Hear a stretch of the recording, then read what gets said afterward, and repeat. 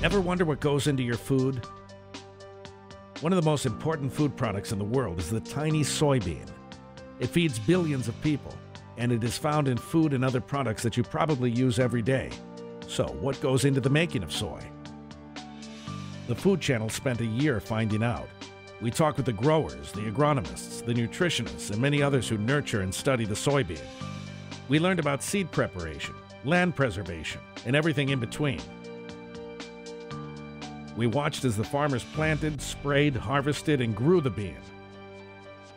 We saw the technology and how it has changed the traditional family farm.